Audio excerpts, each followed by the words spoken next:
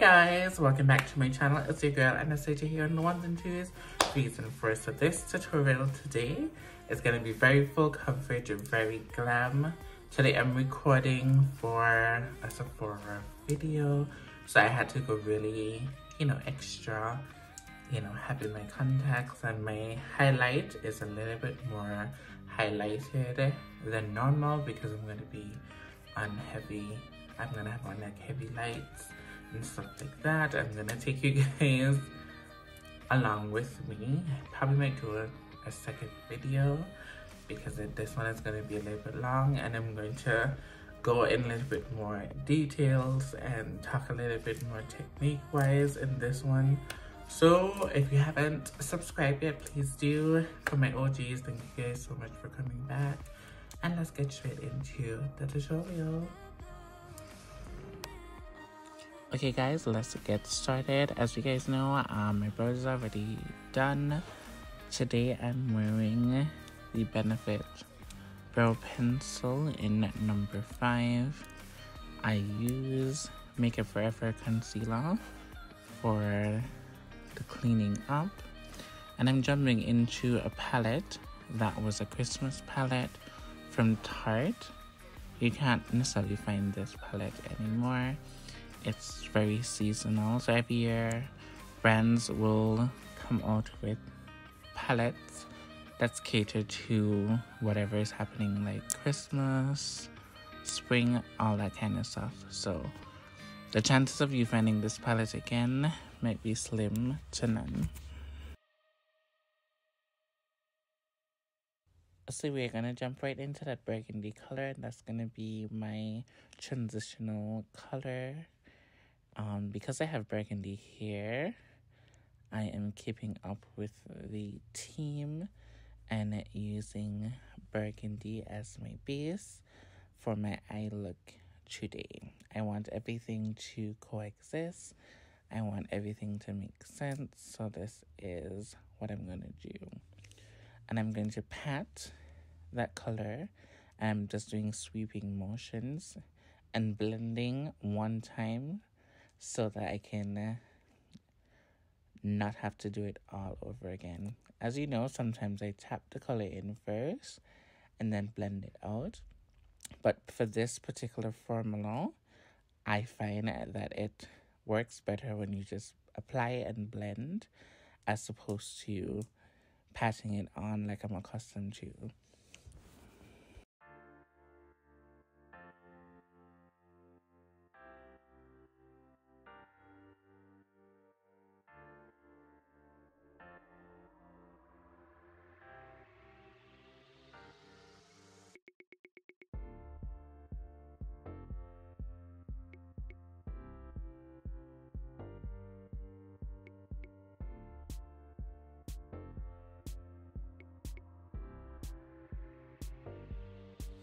And don't be afraid to pack that color in and blend as much as you want because you know you want your finished look to be well blended. Now i'm going to go into a darker burgundy to darken up the outer edge because i want it to be as pigmented as possible.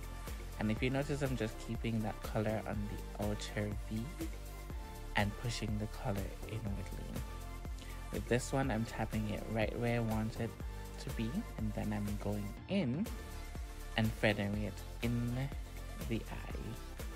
So I'm always blending inwardly, then outwardly, if that makes sense.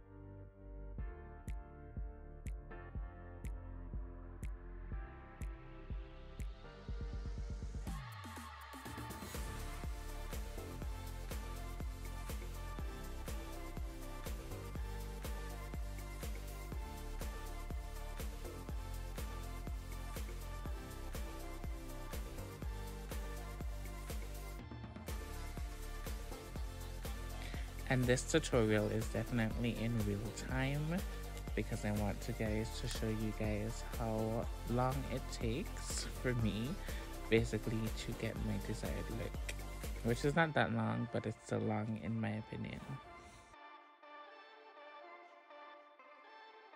So now I'm going in and cutting my crease. As you guys know I always like to use like a very bright um concealer to cut my crease this one is from Hourglass I really really like it because it dries and matte and it transfer proof and all that good stuff. So I really like using it as my eyeshadow base. And remember, the lighter your concealer is when you're cutting your crease is the more brighter whatever color you're going to put down is going to look.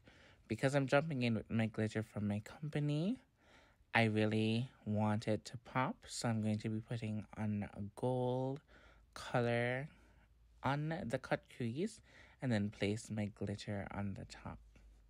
Love it, love it, love it.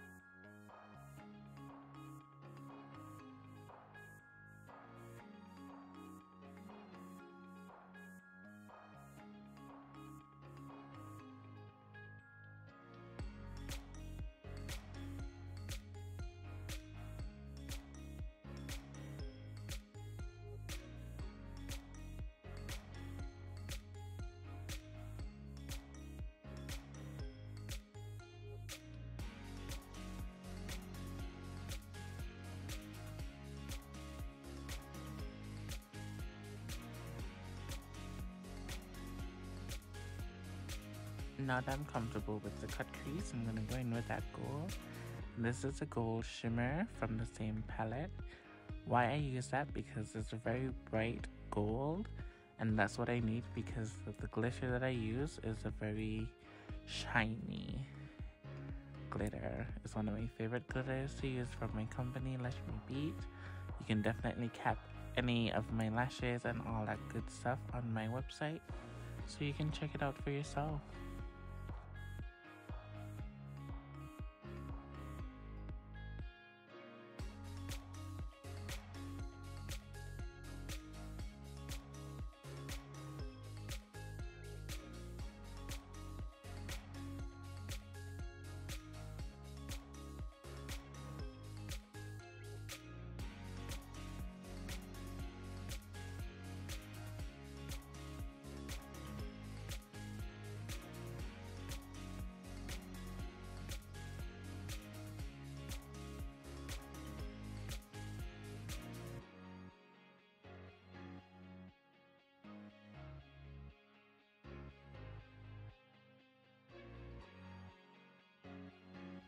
the best way to pack your colors on to your concealer or your cut crease is basically patting it section by section and just stamping that product in and also do light blending as well so you can have a very smooth application.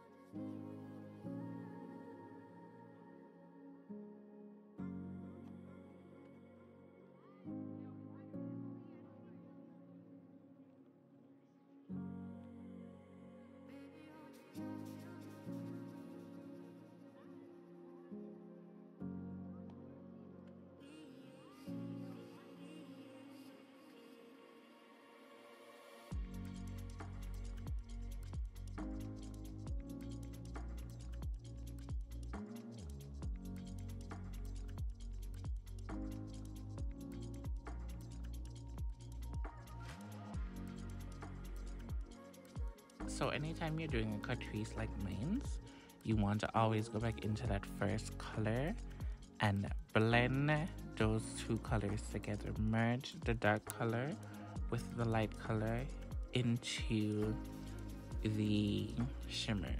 And that's what you see I'm doing here. So you're gonna eventually see that I don't have any harsh lines and everything is blended to perfection. And I go back and forth just to make sure that they are seamless and they look really, really blended. And you see, I'm going over the cut crease and putting that same first color down because I wanted to have a very big distinction between the cut crease and the color that I placed on first.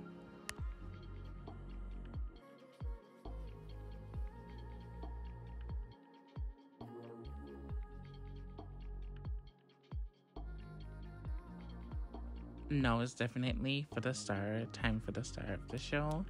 My chunky glitters. Now I have six different chunky glitters, all at different color, but I love the gold and I also love the translucent silver. I'm gonna be playing with some more of my products um, in tutorials going forward because I want you guys to really get into the quality products that I do have. So when I'm putting on my glitter, especially over my eyes, I like to bend forward so anything debris that falls down, it doesn't fall onto my face and all of that. And you see how these two goals just match really, really nicely. And then I'm going to be lining my water, my lash line, sorry. And I'm not making a wing or anything. I'm just wanting to put down this line just so that my lashes can lie comfortably because there's a big distinction between my eyes and the chunky glitter. So you want to fill the gap and that's what I'm doing with the liner.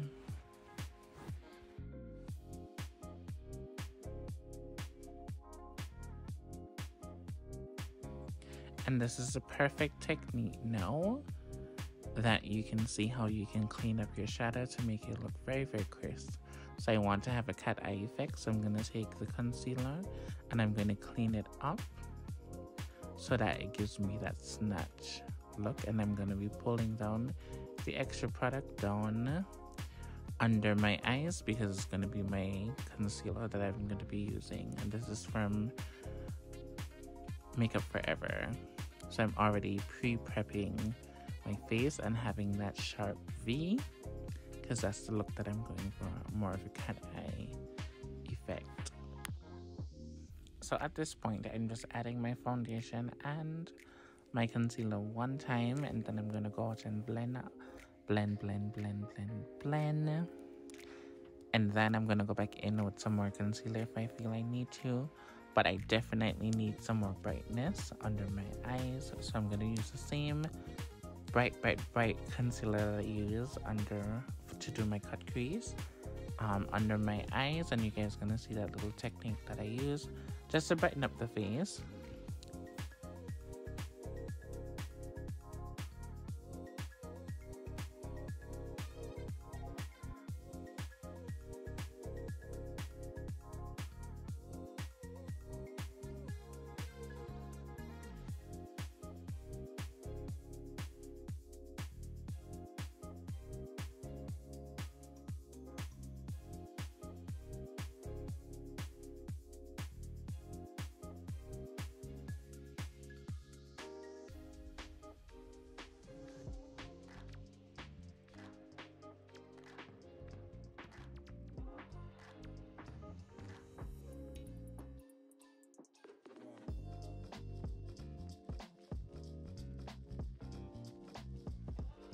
So right at this point, I'm gonna go in with my translucent powder from one side. That is the clear translucent powder.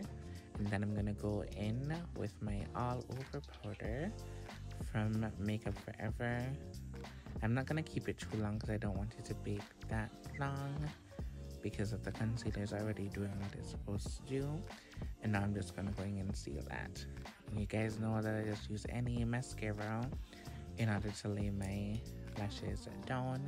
You guys already know the ones and twos and the threes and fours.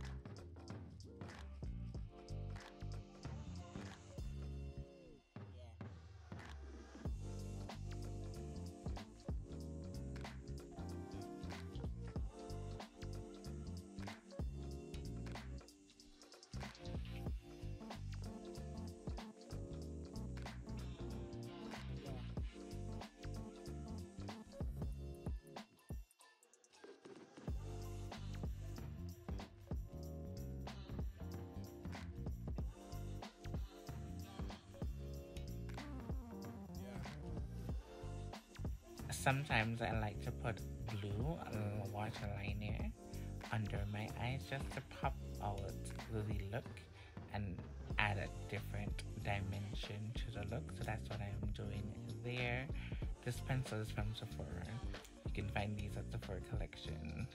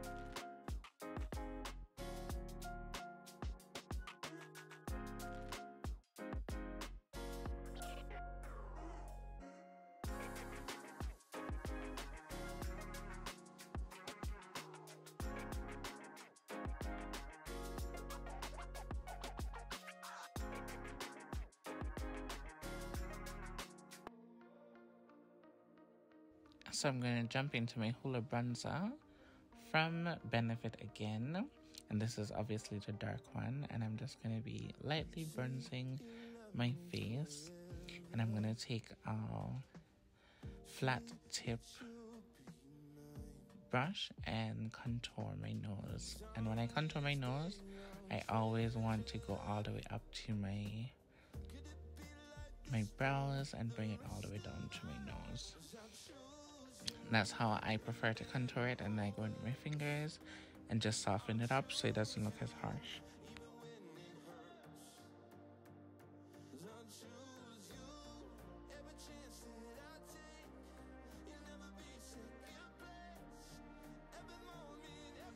And you know, my faithful, I'm going in with some burgundy blush. I put on way too much today, but that's okay.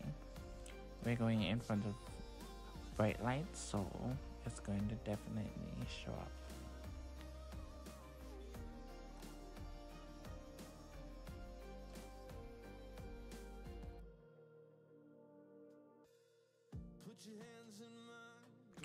So surprisingly, I didn't use any lip liner today. I don't know why, but I didn't.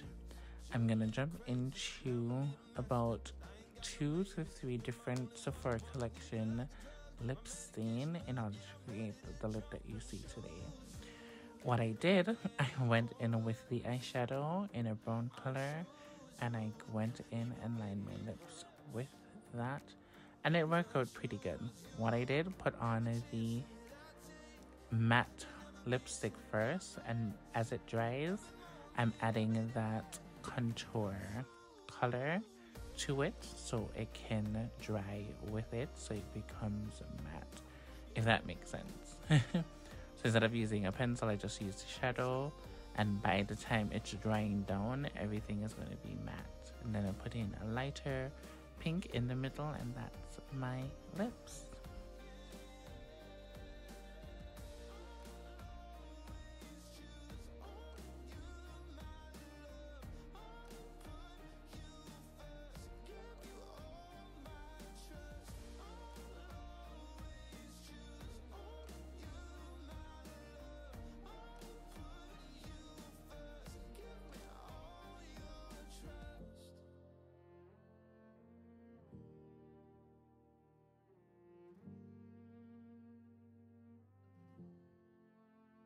choose you, better or worse.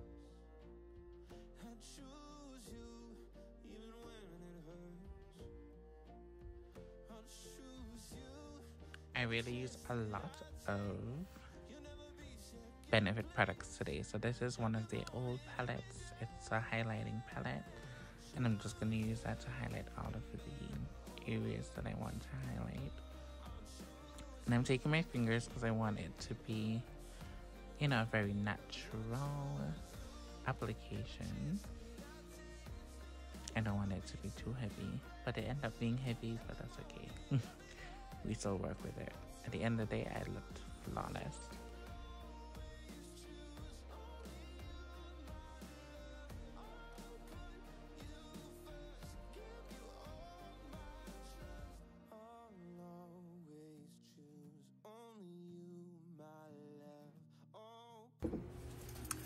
Hey guys, so this is I did my makeup for 9.30 and now it is after 6 as you can see I'm still recording you know and my makeup. I just changed my lip because I ate and it came off so I just did it back.